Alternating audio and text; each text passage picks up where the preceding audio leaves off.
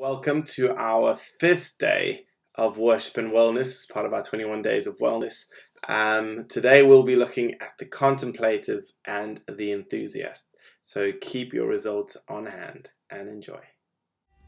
As an enthusiast, you worship God through mystery and celebration. You worship with outward displays of passion and enthusiasm.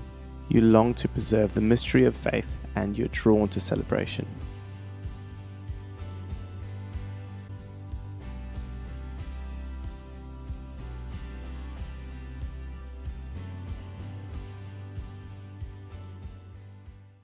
As a contemplative, you love God and worship Him through adoration.